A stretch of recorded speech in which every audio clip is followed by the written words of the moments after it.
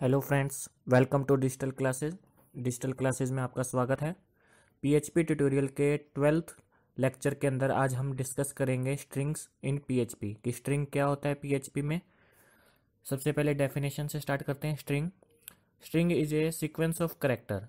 Sequence of character अगर बहुत सारे करेक्टर्स को सीक्वेंस में लगा दिया जाए तो एक स्ट्रिंग बन जाती है। जैसे कि डिजिटल क्लासेज ये एक स्ट्रिंग है। इसमें D I G I T A L आगे C L A double S E S ये सारे के सारे करेक्टर्स है। इन्हें एक सीक्वेंस में लगाया हुआ है। अगर सीक्वेंस ऑफ़ करेक्टर्स हो तो उसे स्ट्रिंग बोला जाता है। तो यहाँ पर डिजिटल एक स्ट्रिंग है क्लासेस भी एक स्ट्रिंग है, और ये दोनों को कॉम्बिनेशन भी एक स्ट्रिंग कहलाएगा। पीएचपी के अंदर स्ट्रिंग्स को दो तरीके से बनाया जा सकता है। सिंगल कोट्स का यूज़ करते हुए और डबल कोट्स का यूज़ करते हुए। तो आगे करना सबसे पहले single quoted string we can create a string in P H P by enclosing the text in a single quotes single quotes के अंदर भी हम पी एच पी के अंदर स्ट्रिंग बना सकते हैं। It is the easiest way to specify the string in P H P easy way है बनाने का। Here escape sequences and the variable will not be interpreted देखिए, इसका में क्या होता है? अगर आप सिंगल कोट्स का यूज़ करते हुए स्ट्रिंग बनाते हैं, तब हम जो भी वेरिएबल्स होते हैं स्केप सिक्वेंसेज होते हैं, उन्हें हम यहाँ पर इंटरप्रेट नहीं करवा सकते। इस लाइन को हम एग्ज़ाम्पल के थ्रू समझते हैं। देखिए, यहाँ पर हमने एक एग्ज़ाम्पल लिया है। इसके अंदर मैंने डॉलर एक्स के अंदर एक वैल्यू डलवा दिया है, राहुल। और एक एस टी आर वन नाम से मैंने एक स्ट्रिंग ली है। और यहाँ पर सिंगल कोट्स के अंदर मैंने स्ट्रिंग के अंदर कुछ करेक्टर्स डिफाइन किए है। हेलो टेक्स्ट और उसके बाद एक वेरिएबल दिया है। डॉलर एक्स यहाँ पर वेरिएबल है। और उसको भी मैंने सिंगल कोट्स के अंदर दे दिया। अब जैसे ही मैं इसको इको करवाऊँगा इको के करवाने पर ये मुझे आउटपुट क्या देगा?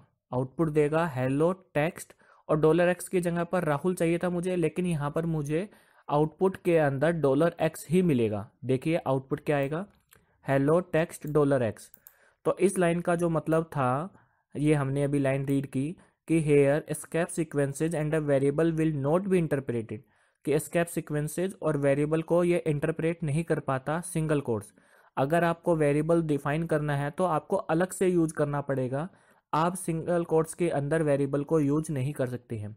यही बेसिक डिफरेंस होता है सिंगल कोटेड स्ट्रिंग और डबल कोटेड स्ट्रिंग में। तो ये एक एग्ज़ाम्पल हो गया आपका सिंगल कोटेड स्ट्रिंग के लिए। इस चीज़ को हम रन करके भी देख लेते हैं अभी। सबसे पहले मैं इस कोड को कॉपी कर लेता हूँ। नोटपैड में जाता हूँ अपने। नोटपैड में जाकर मैं इसको पेस्ट कर लेता हूँ।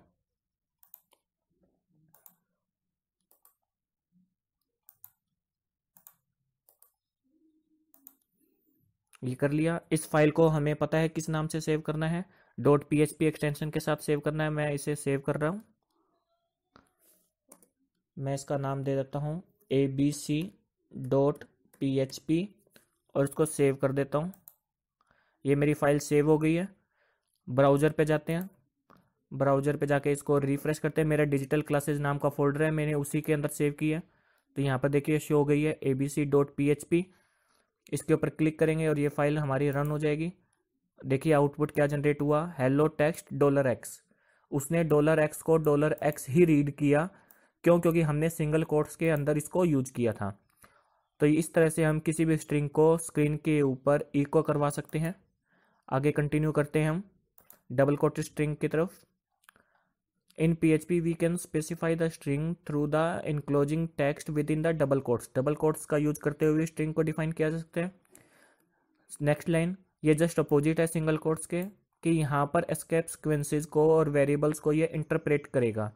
एस्केप सिक्वेंसेज का मतलब मैं आपको बता दूँ, आपने C language C plus plus में पढ़ा होगा स्लैश एन के बारे में स्लैश टी के बारे में जिससे हम क्या करते हैं नेक्स्ट लाइन में एंटर करना हो या टैब का स्पेस देना होता है तो उस टाइप के जो सिक्वेंसेज होते हैं, उन्हें एस्केप सिक्वेंसेज बोला जाता है। तो उसको भी इंटरप्रेट नहीं कर सकता सिंगल कोर्स डबल कोर्स कर सकता है।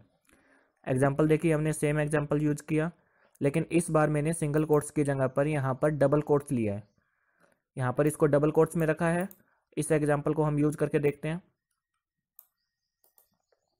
कॉपी किया टेक्स्ट को। यहाँ जाके इसकी जगह पर इसको पेस्ट कर देता हूँ। अब देखिए डबल कोट्स है। इसको कंट्रोल एस करता हूँ। सेव कर दिया। ब्राउज़र पर जाते हैं। रिफ्रेश करते हैं। और देखिए यहाँ पर अब की बार प्रिंट हो गया। हेलो टेक्स्ट राहुल राहुल क्यों आ गया? क्यों? क्योंकि अब हमने यहाँ पर डबल कोट्स का यूज़ किया है। ये देखिए डबल कोट्स का यूज़ किया है। तो ये बेसिक सा डिफरेंस है। दोनों ही स्ट्रिंग बनाने के तरीके हैं। आगे कंटिन्यू करते हैं। पीएचपी में स्ट्रिंग के कुछ फ़ंक्शंस ये फ़ंक्शंस क्या करते हैं? स्ट्रिंग के ऊपर जो ऑपरेशंस परफॉर्म कराना हो, उसे थोड़ा इजी बना देते हैं। हमें पूरा का पूरा प्रोग्राम नहीं लिखना पड़ेगा जस्ट ये प्री डिफाइंड फ़ंक्शंस हैं, इनका यूज़ करते हुए हम काम कर सकते हैं। फ़र्स्ट फ़ंक्शन पढ़ते हैं। S T R T O lower string T O to lower S T R represent कर रहा है स्ट्रिंग को T O to then lower इसका मतलब क्या है? कंप्लीट स्ट्रिंग को, इसके अंदर हम एज ए पैरामीटर देंगे स्ट्रिंग और उसको क्या करेगा? लोअर केस में चेंज कर देगा। लोअर केस का मतलब क्या है? कोई भी लेटर अगर कैपिटलाइज है तो उसके स्मॉल में कन्वर्ट कर देगा। Capital A B C D को small A B C D में कन्वर्ट करने का काम करेगा। सिंटेक्स क्या है? आपने फ़ंक्शन का नाम लिखना है और इसके अंदर एक स्ट्रिंग नाम का पैरीमीटर पास करना है। और इसका जो आउटपुट आएगा वो स्ट्रिंग टाइप का आएगा जो ये रिप्रेजेंट कर रहे हैं।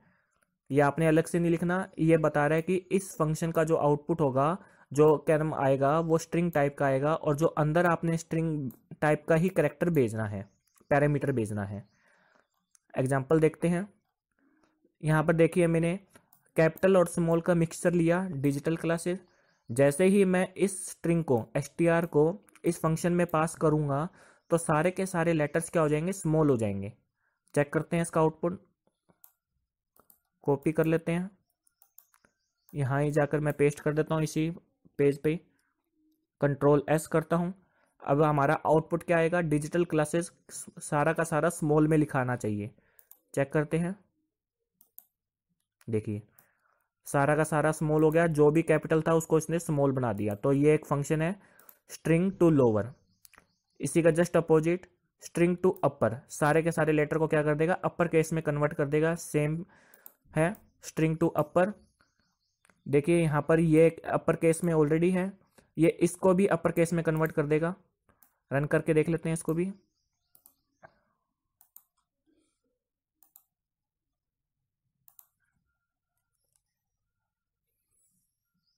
यहाँ पे जाके मैं इसको वापस से पेस्ट कर देता हूँ। कंट्रोल एस कर देते हैं। और यहाँ पर जाकर इसको रिफ्रेश करते हैं। देखिए, सारा का सारा इसने कैपिटलाइज कर दिया। तो ये स्ट्रिंग के फ़ंक्शंस है जो हमें प्रोग्रामिंग के दौरान ज़रूरत होती है। किसी को अपर केस या लोअर केस करना हो। तो हमें पूरा का पूरा फ़ंक्शंस यूज़ करने की, पूरा का पूरा हमें मतलब प्रोग्रामिंग यूज़ करने की ज़रूरत नहीं है। हम जस्ट एक छोटा सा फ़ंक्शन यूज़ करके अपने काम को ईजी टू यूज़ बना सकते हैं। Next is U C first U C first का मतलब क्या है? अपर केस फ़र्स्ट फ़र्स्ट का मतलब ओनली फ़र्स्ट करेक्टर को ही अपर केस में कन्वर्ट करेगा, बाकी को नहीं करेगा। तो जैसे कि यहाँ पर देखिए डिजिटल क्लास है सारा स्मॉल में लिखा हुआ है। ये पूरी की पूरी एक स्ट्रिंग है। बीच में जो स्पेस होता है, उससे भी स्ट्रिंग के अंदर इंक्लूड किया जाता है।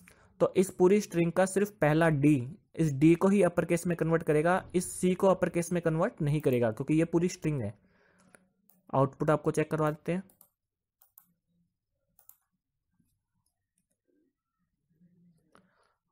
मैंने कंट्रोल एस करके सेव कर दिया। यूसी फ़र्स्ट नाम का फ़ंक्शन यूज़ कर रहा हूँ। आउटपुट चेक करते हैं। देखिए, सिर्फ़ डी को ही कैपिटलाइज किया इसने, बाकी को नहीं किया। यही इसका आउटपुट आएगा। Same L C first L C first क्या करेगा? फ़र्स्ट लेटर को स्मॉल में कन्वर्ट कर देगा. लोअर केस फ़र्स्ट लेटर बाकी सेम रहेगा। एल सी फ़र्स्ट इसमें क्या होगा? ये डी को स्मॉल कर देगा। ये सी जो है, वो एज इट इज़ रहेगा। कैपिटल सी ही रहेगा। स्ट्रिंग रिवर्स स्ट्रिंग रिवर्स में क्या करेगा? पूरी की पूरी स्ट्रिंग को रिवर्स कर देगा। इसको रन करवा के दिखा देते हैं आपको।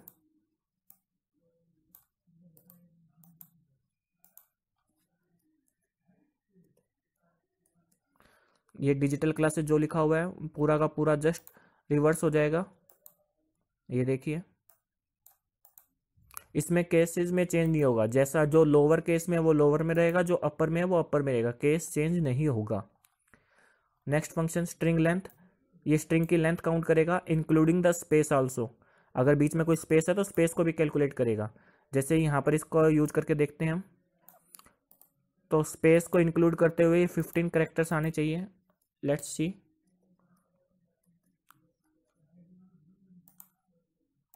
ये देखिए फिफ्टीन आ गया। तो ये स्ट्रिंग के कुछ फ़ंक्शंस थे, जो कि हम पीएचपी के अंदर during the programming during the web development हम यूज़ करते हैं। आज के इस वीडियो के लिए इतना ही। Thank you friends